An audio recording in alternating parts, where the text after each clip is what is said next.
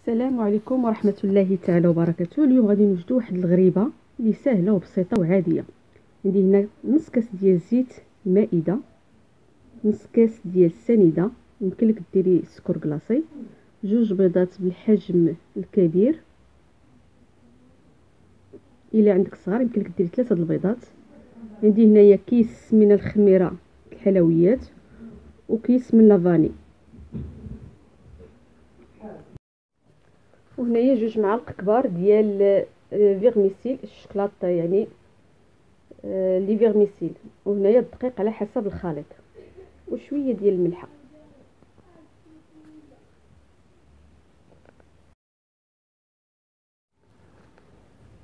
كنشدو البيض كنفقسوه كيف كتشوفوا معنا. كنديروا بيضة وكنديروا الصفار ديال البيضة والبياض. كنحتفظوا به كنحتفظوا به باش كنزوقوا به في الأخير.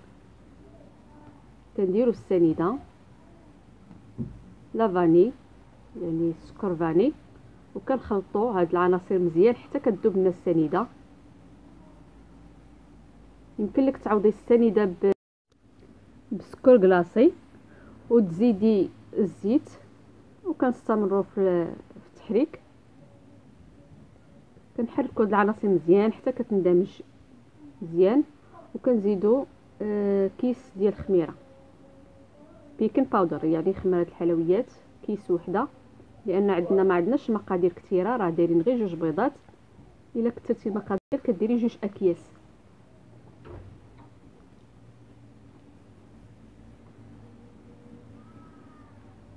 كنضيف الشكلاط البيرميسيل. وكنضيف الدقيق. يعني الدقيق من النوعية الممتازة الدقيق الأبيض.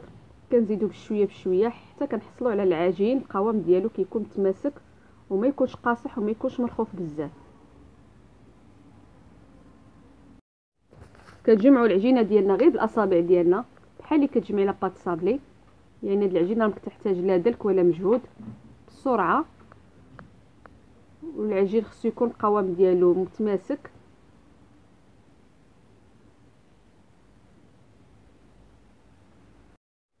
كتشوفوا معايا هذا هو القوام ديال العجين من بعد ما جمعناه. شوفوا معايا مزيان. صافي كنشدوا بياض ديال البيض والكاوكاو مهرمش. إلا ما عندكش ديري اللوز.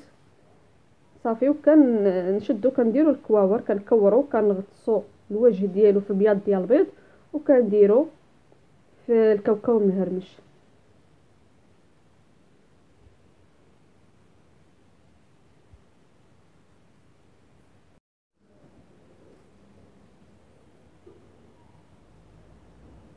صافي كنستمروا بهذه الطريقة هذه حتى الأخير وكنستفوا الحلوه ديالنا في اللاطه وندخلوها الفران حتى كطيب على خاطرها.